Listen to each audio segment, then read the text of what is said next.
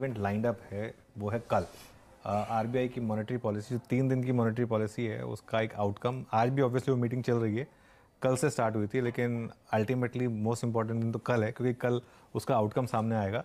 तो नीरज जी के पास चलते हैं और जान लेते हैं कि क्या हम एक्सपेक्ट कर सकते हैं इस मॉनेटरी पॉलिसी से। नीरज जी बताइए। देखिए आरबीआई के सामने एक बड़ी चुनौती है आ, कि एक तरफ़ ग्रोथ मैनेज करना है दूसरी तरफ़ इन्फ्लेशन भी। इन्फ्लेशन का ज़्यादा असर आपका इम्पोर्टेड है तो उसके प्रेशर में काम करना पड़ेगा। तो अनुमान ये लगाया जा रहा है कि रेट हाइक होगी, लेकिन बहुत ज़्यादा नहीं होगी। इस बार शायद 35 बेसिस पॉइंट या 25 हालाँकि स्ट्रीट डिवाइडेड है, लोगों को ज़्यादातर लगता है कि शायद 35 बेसिस पॉइंट कर सकते हैं, लेकिन डी के जोशी क्रिसिल को लगता है कि 25 बेसिस पॉइंट करना चाहिए।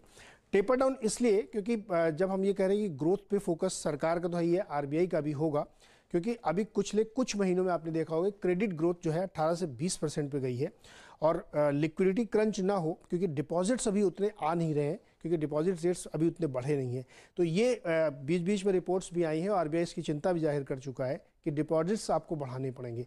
तो इस वजह से हमें लगता है कि बहुत ज़्यादा रेट हाइक ना करके भी वो लिक्विडिटी को मैनेज कर सकते हैं। तो इसलिए 25 या 35 के बीच में एक बात ये चल रही है। दूसरा एक सवाल ये उठ रहा है कि इन्फ्लेशन लगातार नीचे आया है तो क्या वो अपने टारगेट्स को कोई चेंज कर सकते हैं क्या? तो इसमें शायद नहीं चेंज करेंगे, ना टारगेट चेंज करेंगे, ना ही जो जीडीपी का ग्रोथ चेंज करेंगे इस पूरे फाइनेंशियल ईयर के लिए। हालाँकि उनका जो अभी जो उन्होंने लक्ष्य रखा उससे बहुत नीचे आना है और उसके पीछे लॉजिक ये दिया जा रहा है कि जो विंटर सीज़न होता है, इसमें खास तौर पे जो फ़ूड इन्फ्लेशन है, वो तेज़ी से गिरता है और क्रॉप जो आने वाली वीट की है, वो भी बहुत रोबस्ट होगी।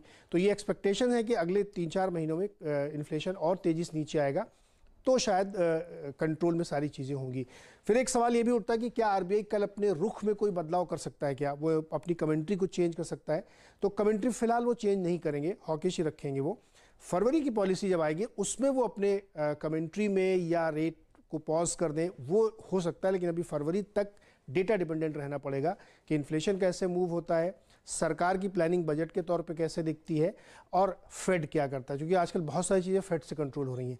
तो इन तीनों को अगर आप देखें तो उस पर सारी कुछ कमेंट्री होगी, लेकिन मोटे तौर पर आप समझिए कि रेट हाइक होगी कमेंट्री हॉकिश रहेगी और कोई भी टारगेट चेंज नहीं होंगे, ना तो जीडीपी के और ना ही इन्फ्लेशन के।